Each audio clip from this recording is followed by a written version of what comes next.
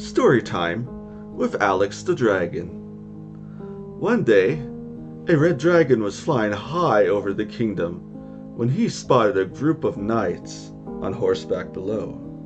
They were being chased by a group of vile bandits, and it looked like they were going to be outnumbered and outgunned.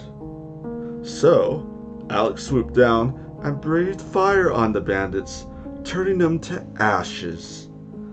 He then landed and helped the knights chase down the remaining bandits, which also became ashes. The knights were very grateful, and they rode off into the sunset together. There's a secret life of mac and cheese that many people do not know about. It is life of luxury and refinement.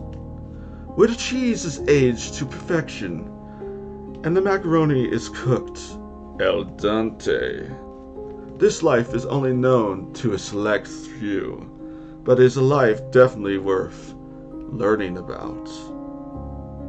So please get your teachers to sign this into legislation.